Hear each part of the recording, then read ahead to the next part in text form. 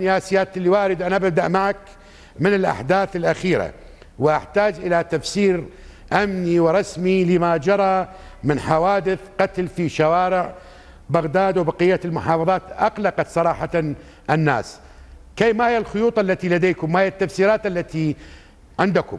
هنالك من يحاول أن يخلق الذرائع حتى يتم اتهام القوات الأمنية قد تكون الهدف هي الحكومة قد يكون الهدف أيا من وراء ذلك آه، يوم أمس أيضا وقبل يومين نعم. ظهرت في الأخبار آه، قائمة طويلة جدا بالجرائم التي ارتكبت من تاريخ هلقد إلى تاريخ هلقد من اطلعنا على هذه الجرائم قتل شخص اسمه فلان في المنطقة الفلانية اتضح أنه هذه القائمة تحتوي 75% معلومات آه، كاذبة غير صحيحة ومضللة ودمجوا بها بعض الحوادث اللي حصلت في محافظة بغداد.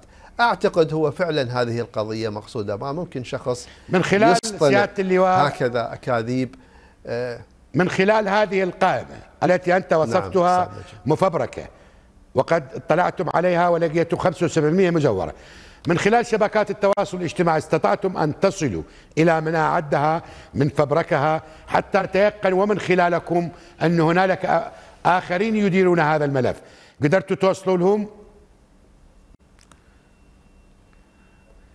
يعني هو هنالك أجهزة تتتبع الأشخاص اللي وراء هذا الموضوع.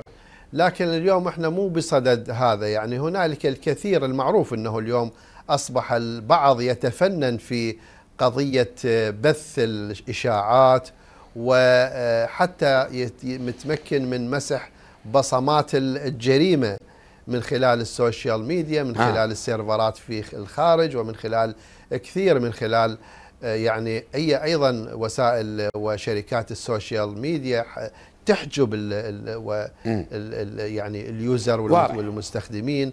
وهكذا المهم هنا المهم هو أن نكشف للرأي العام من خلال وسائل الإعلام الوطنية أنه ما يدور هي أشبه أنا أسميها مؤامرة الحقيقة وإلا شنو الداعي أن يعني تختلق وتفبرك جملة من المعطيات كأنما تدس العسل في السم وتدس الخبر الصحيح والخبر اليوم السيد وزير الداخلية بعد آه، ما وجدنا المعطيات قرر تكريم آه، خمسين من ضباط الشرطة في محافظة بغداد وبحدود آه، المئة منتسب نتيجة للجهود الكبيرة اللي بذلوها لتوفير الأمن وإلى الاستجابة السريعة. وهذا حافز إلى بقية ضباطنا ومنتسبين حتى يكونون دائما يعني على أهبة الاستعداد. وبنفس الوقت رسالة إلى المجتمع أن أجهزة الشرطة